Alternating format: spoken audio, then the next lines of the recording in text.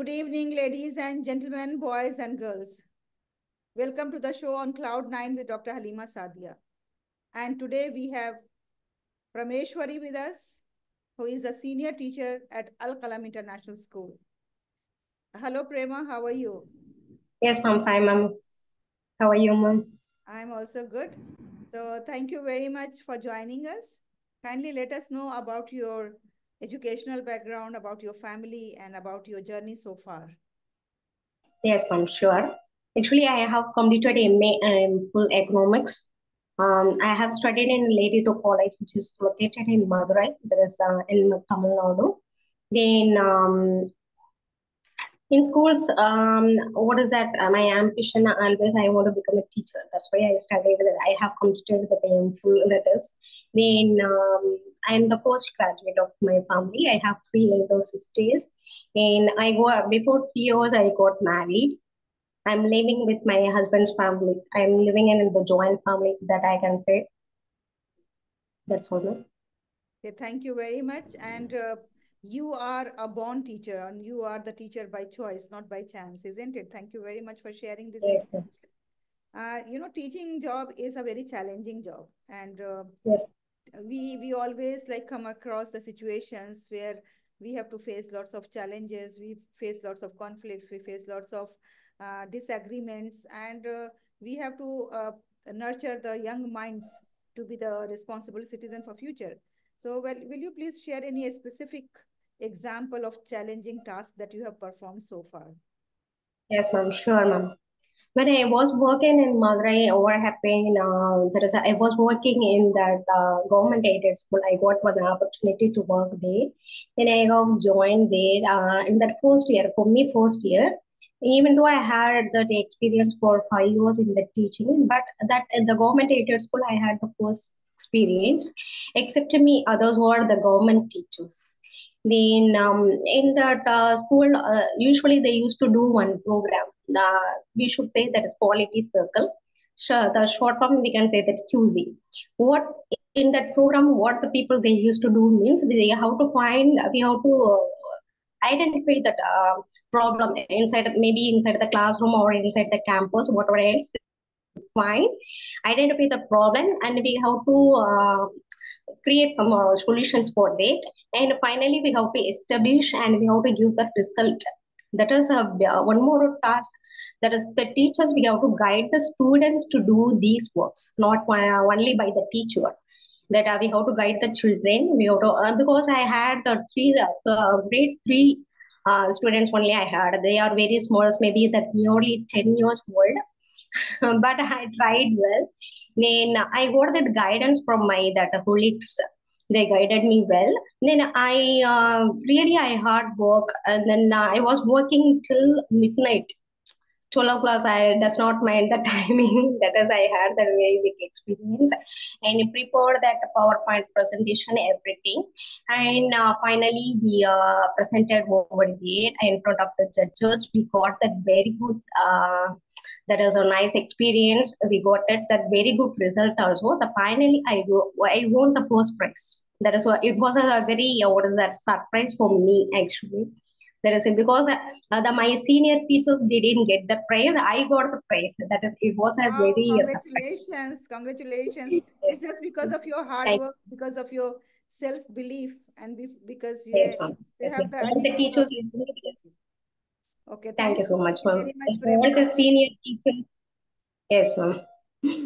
So prema at in, uh, al kalam international school is a team player or a solo player do you believe in team building and how you maintain that team spirit uh, among your colleagues and with all you are working over there? So how you manage the team? Yes ma'am. I feel very proud to work in al kalam international school ramanathapuram district. It is which is located in tamil nadu that uh, even the principals or or uh, correspondents or the vice principal that are the teachers everybody usually be like the family members So nobody is not rule others. Also, they used to give the freedom, whatever else, but they instruct and give that instruction. We have to work. Uh, uh, our goal is we have to make the students to study. That's why we, we are working very peacefully. We are not restricting by anyone else. We are doing our work that is peacefully. That is once we, we feel very uh, peace, we can do a lot of things. That environment, very good environment we are holding. That we feel very happy to work there. Okay, so how do you maintain, like, uh, what is your uh, team strategy to work with everybody? Do you practice certain skills, like uh, you have empathy, you have uh, consideration for others' opinions, and uh, so what exactly you do to maintain to be one of the uh, key team player? Yes, ma'am. Yes, actually, uh, as what about the programs we do in our schools, we uh, usually discuss with the teachers. Okay. We uh, discuss that we separate that uh, what we can do, that we can uh, segregate that uh, that uh, teachers we uh, they have that uh, different skills.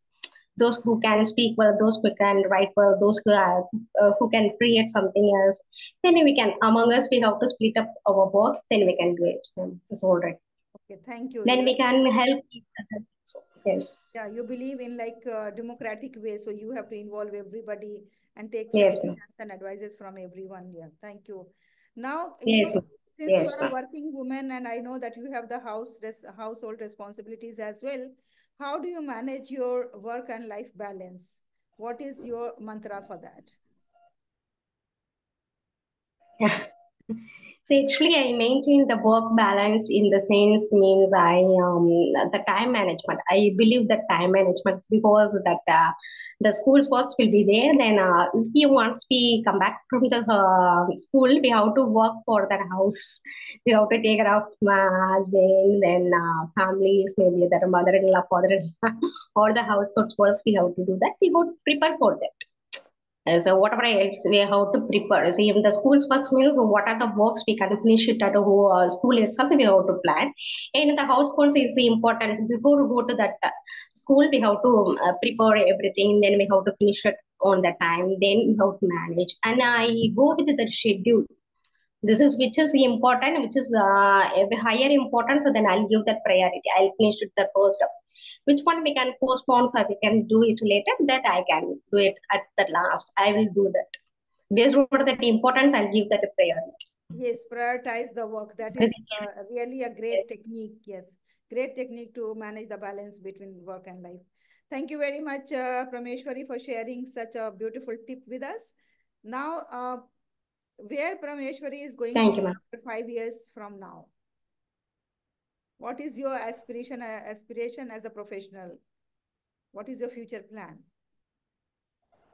That uh, professional i am doing i'll be a good teacher is um, i'm maintaining the uh, respect from among us then even the students if they go means they automatically they give the respect. Uh, what is that? They are thinking thinking about me is like uh, advisor also sometimes I usually, uh, apart from the teaching, I guide the children. I uh, I teach the basic manner and discipline, how to behave inside the class, how to go, how to be, uh, how to be a good citizen. Everything I usually explain. That is my aspiration. And uh, then uh, I want to become a one more thing. Apart from that professional, I want to become a businesswoman. That is Wow, that is a, a, great ambition. Yes, that's really a great ambition. You want, want to be a businesswoman along with a professional educator. Yes. I wish you all the best on behalf of EduFam International Academy. We all wish you good luck for all your future endeavors and may Almighty bless you and give you many more successes. Now, more power to you, Miss Parameswari. Thank you very much for sparing your valuable time. It was nice talking to you. Thank you very much. Thank you.